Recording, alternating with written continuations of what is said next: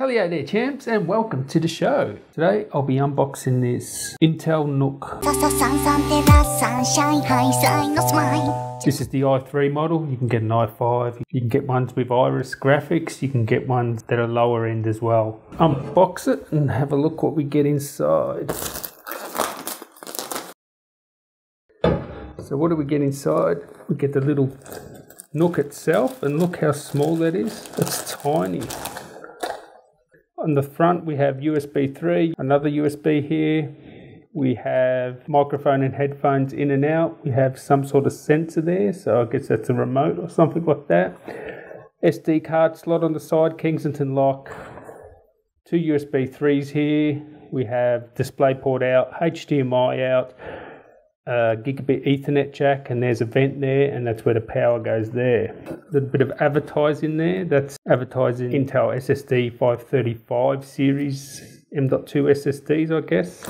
You get your instruction manuals, more advertising about Intel SSDs. You get a Intel Core i3 sticker there, and whatever processor you get, that's the kind of sticker you'll get. And what else we got? Some more instructions and some screws, the plate to mount it, I guess, and the power supply. So obviously the power supply is external. There's no power supply inside there. So there you have it. That's the i3 Intel NUC.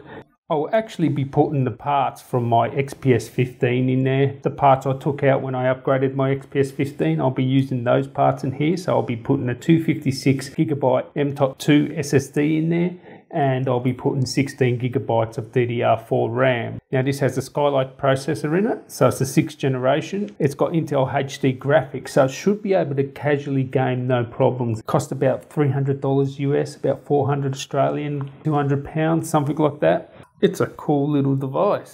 So the review will be coming up soon. I've just received Dell's new Inspiron 5000 Series 2 in 1, so I'll be reviewing that soon. So make sure you subscribe. I've got a lot more stuff coming soon that's going to be coming out thick and fast. So subscribe to see all that. I'd like to really thank you guys for watching.